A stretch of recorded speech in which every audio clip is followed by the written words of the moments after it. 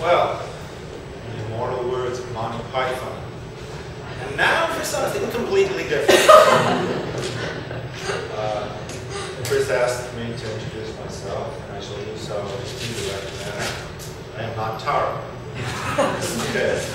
Like the other two papers, mine uh, paper in many ways can be viewed as an extended footnote, I like to think of it as a meditation on some of the points that Frank made in his, uh, in Sutherland address yesterday. So I'm going to talk about emotions, choice, and crime. I'm sure in such a knowledgeable audience as this, I don't go into, don't need to go into much detail on the rational choice perspective. As you all know, it's a perspective that assumes that uh, actors behave according to choices that they make on the basis of expected utilities. They uh, weigh the costs and benefits of various things, and then they decide what to do. This perspective has a number of attractive features for both sociologists and criminologists. Uh, on one hand, it provides us with a motivated offender, or a motivated actor, I should say. A person who makes choices, who exercises agency, and uh, that gives us something that avoids problems that we used to call in sociology the over-socialized conception of human nature.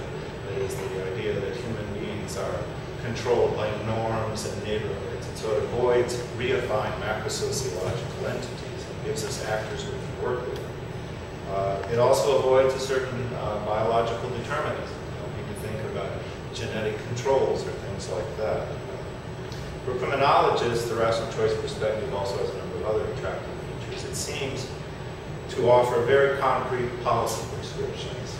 Choices, including criminal choices, really indeed are based on expected utilities, then maybe there's something we can do to change decision making by altering expected utilities. This has had two sort of direct policy implications. On the one hand, it led to the uh, punitive movement, the deterrence movement, and the massive increase in mass incarceration.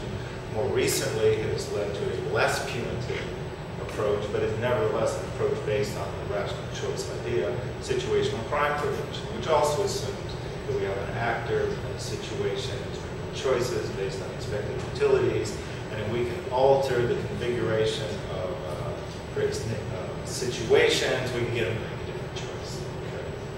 So, unfortunately, in addition to these attractive features, the rational choice perspective also has of shortcomings.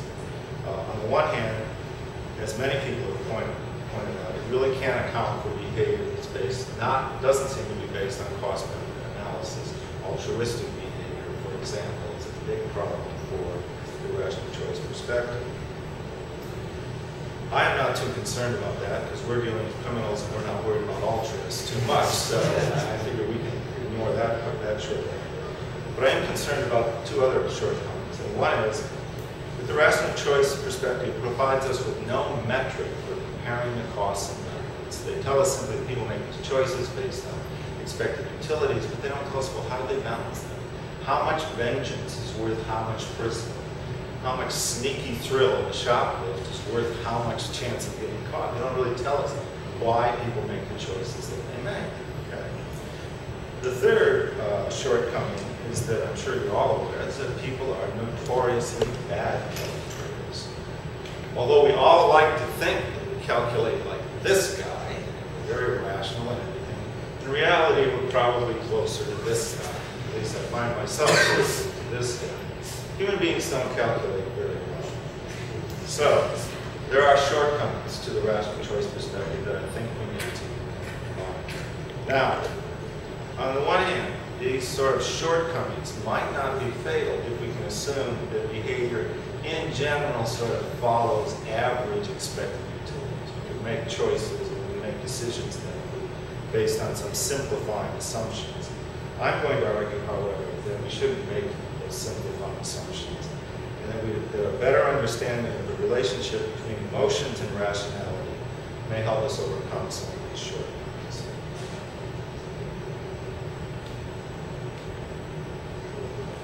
Like the other presenters here, when Frank asked me to give this talk, I sort of wondering why, and I think I know why. It's Frank and I talk a lot, and, and for a long time, I've been talking about emotions and that, well, I think, you know, criminologists have ignored emotions. And from that, he mistakenly assumed that I actually knew something about emotions, which, which I don't really. But I, I was sort of, when I've been, I have been thinking about emotions for a long time. And what it really came out of was a period in my life when I really got into revenge movies. I was watching Chuck Norris and Charles Bronson, the glorious Clint Eastwood.